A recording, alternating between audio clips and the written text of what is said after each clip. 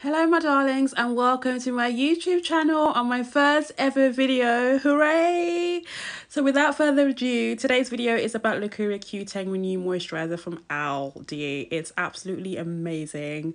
Um, so I don't know about you, but I am for sure trying to save every single penny in this economic climate and I'm so glad that I came across this amazing moisturizer. So I've been exploring ways to combine my luxury skincare, uh, drugstore and, and now supermarket products and I've been using the Q10 moisturizer for about seven months now. So my mum, who's my absolute bargain plug, recommended this Q10 moisturizer to me. And at first I was a bit skeptical. I was like, oh, I'm not quite sure. I mean, I could do drugstore, but I'm not sure about supermarket. I don't want to break out.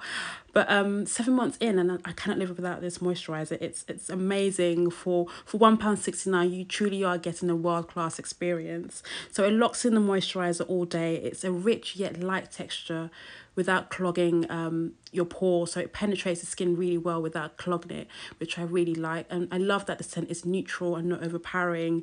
And it's supposed to combat wrinkles. Well, it, it appears to be doing just that. But um, I credit my serum and diet for uh, my wrinkle-free face. but I'll let you guys be the judge. So the Q10 moisturizer is really affordable. Of course, it's £1.69. And if you use it alongside your serum, I think you have a good combination here.